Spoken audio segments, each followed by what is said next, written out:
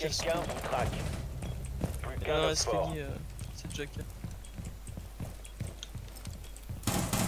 L'escalier est entré. Votre identité a été compromise. Putain, mais il me remarque cet enculé. Il était vers toilette. Ouais, il est, euh, il est vers toilette.